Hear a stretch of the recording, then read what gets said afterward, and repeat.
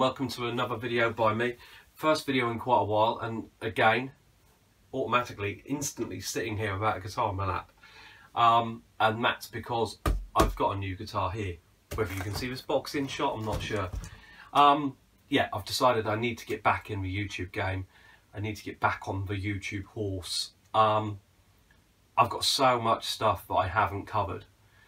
Uh, and it's just kind of, you know, it almost becomes a little bit kind of overbearing and a bit kind of daunting because there is too much. Uh, but for now, we're covering my new guitar, my new guitar day. Um, before anyone gets too kind of shitty and a bit, I had someone make a funny comment once on a video I done like this, it is a second-hand guitar.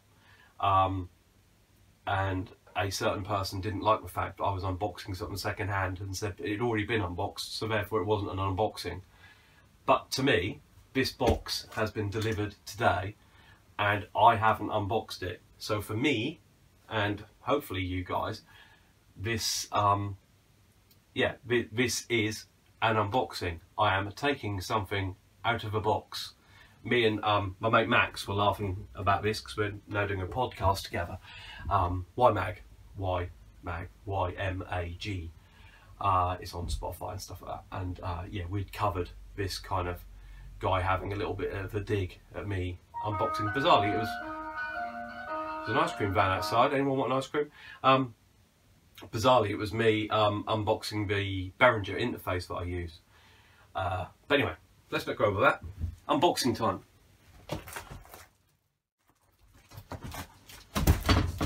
I'm still unsure whether to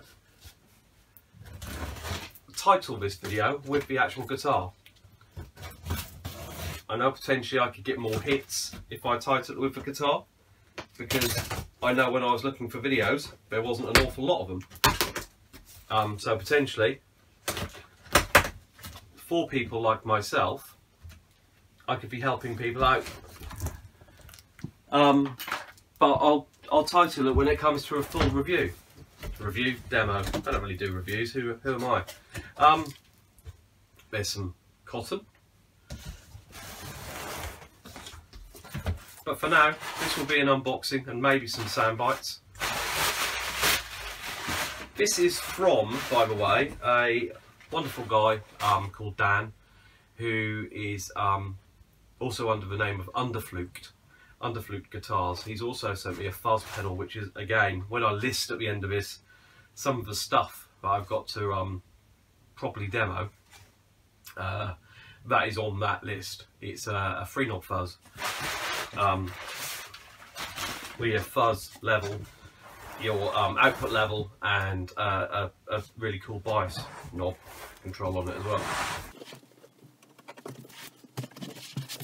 It's upside down.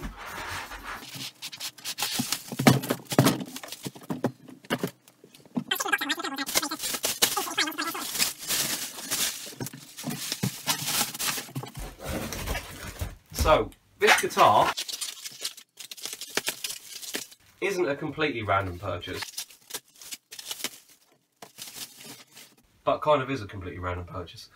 I've I've liked these guitars for quite a while. I remember seeing them um, when they first came out, and uh, I think they were cool. They've got a very cool vibe to them. It's um something different to sort of anything else I have. So, yeah, when I was offered it for a, a really, really, really good price, I thought, fuck it. Yeah, there's a couple of bits and pieces I'd laying around, but I, I wasn't playing very much. So I could part ways with some bits and pieces to get this. And also, this is an awesome way, for people who, who don't do, it is an awesome way as well of documenting and unboxing um, in case there's any insurance issues.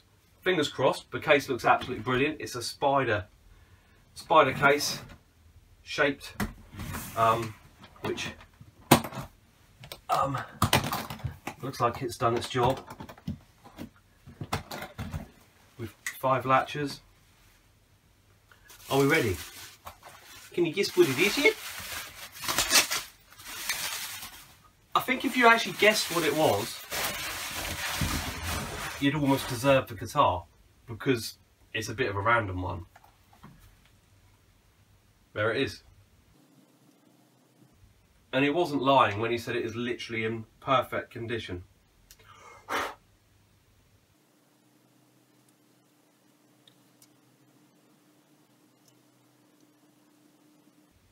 But yeah, it's very cool.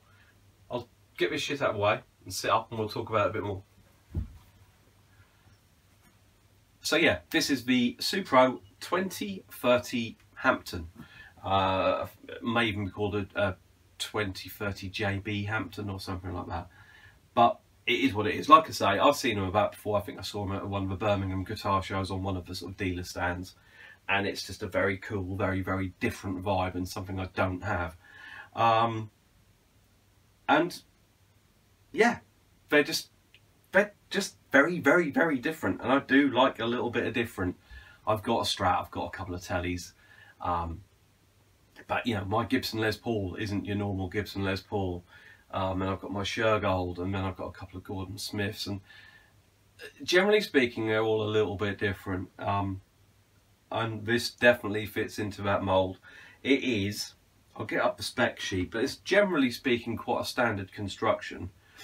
It is, apparently according to Supro, it is a vintage Supro body design, set neck with a black satin finish, which I'll put some pictures up That's really cool how it goes from, um, I don't know if you'll see it, but it goes from a gloss body into a satin finished neck, just in the playing area of the neck. Um, does seem to feel really nice. Um, when it's free vintage gold foil pickups, 50s wiring with volume and tone controls, 5 position pickup switch, wave tailpiece, can see why they call it a wave, um, Alder body, dot inlays, 6100 frets, I think it's actually got like 22 frets, but you know, we won't pick. Um, 12 inch radius fretboard and a 25 and a half inch scale. So yeah, see, so um, alder body, maple neck, rosewood fingerboard. Um, the pickups are kind of mini humbuckers. The single pickup one and the double pickup model of this, they do both. Um, the pickups are a lot bigger. Um, whether that alters the output or the sound, I'm not 100% sure. I haven't played the others, but the others look a lot more like a humbucker size, whereas this is very much like a, yeah, a mini humbucker. So I'm going to get this plugged in and see what sounds it makes. Um, I am, alas, running out of time this evening to do sounds, so that might be, um, I might record some sounds at a weekend. So if I'm dressed entirely different, um, yeah, that will be why. or perhaps I'll just leave the unboxing separately. We could do that. This is just a mystery unboxing of a new guitar. So yeah, we'll do that, and then I shall post a video up with the title of Supro 2030 JB, Hampton, whatever it's called, um, for a, a, a, full sort of like demo and tone tasting session. I keep laughing because um, me and a couple of mates always refer to a gentleman sausage as a Hampton. So um, yeah, this is a gentleman sausage. Doesn't look like a gentleman sausage that I've ever seen. But yeah, I love it. This is definitely a different and a very, very cool vibe with the sort of massively offset body and the sort of massive top horn Hampton and the offset headstock as well. Made in Indonesia. No surprise there, is there? So, um, but yeah, it's just a very, very different vibe. I'll get some sounds and I'll do a, like I say, a full, a full demo so soon. But um, yeah, going forward, like I said, I've got got so much stuff and a bit overwhelmed with like pedals, basically. I mean, I still haven't done a full demo of the actual amps. I've got a Brent Hinds Terror and a Vox AC15. If you'd like to see either of those in depth, then let me know. Um, I'm limited by volume though, because I do play in a bedroom in a terraced house, so I can't be doing the whole kind of like this is what it sounds like at this volume. Pedal wise, I've got three Sidetech pedals. I think I've done the Woofy or the Coco, but I've got the Woofy, the Coco and the Pandora fuzz. I've just now got the new Mythos High Road Joey Landreth Signature Fuzz. Um, the Antares by Tate Effects is a brilliant sort of uh, what do you call it, like your mid boosting overdrive, your sort of tube screamer esque overdrive. It's got a lovely clean blend feature on it um, that you can dial in. I've got the 4PFX Dane, but I still haven't done a demo on. Partly because it just seems like overdone. So many people have done the Dane. Um, but why not? I've got two Tate effects Razor heads. I've got the Germanium and the silicone one, so maybe do a side by side on those. Um, I've got a wonderful JSA compressor, um, the Eureka. I've got a Hello Sailor KOT, which is his take on obviously the King of Tone, but he calls it the Kilo Oscar Tango. Um, there's an interesting story to go with that, so if and when I demo that, I'll tell that tale and send some pictures up if I can get Joe's um, permission. But he seemed to find it absolutely hilarious. Um, like I say, I've got the Underfluked, the guy I got this from, without things falling down.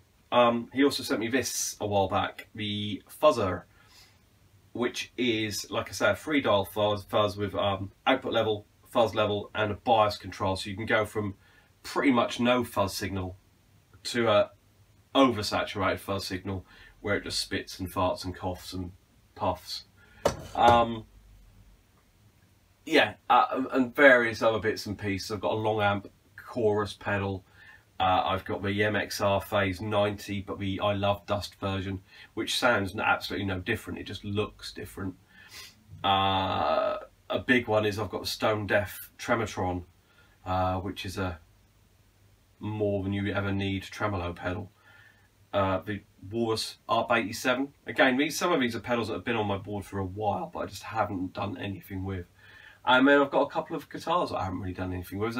Anyone who's watched my channel for a while, I've got a Chipson, and Matt's now had a massive re, sort of makeover, uh, and rebranded it because again, I can understand why, but a lot of people got a bit pissy about the whole kind of Chipson ripping off Gibson, which they do, they have, it is, etc.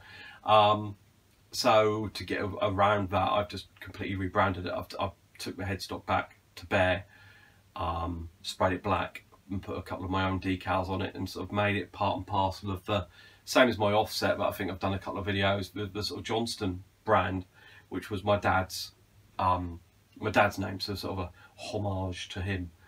Um, I'm looking around trying to think if there's anything else. I've got a new cabinet coming soon uh, from Zilla.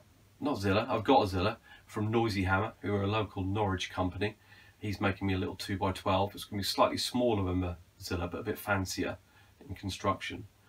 Uh, he used to be a sound engineer and he sort of he's been dabbling with bits and pieces. He sort of he knows what he's doing, so that'll be good. Hopefully, a very tight sound but punchy. Um, and I've got a couple of guitars en route as well, a couple of extra guitars. So I might be selling another couple of bits and pieces as well.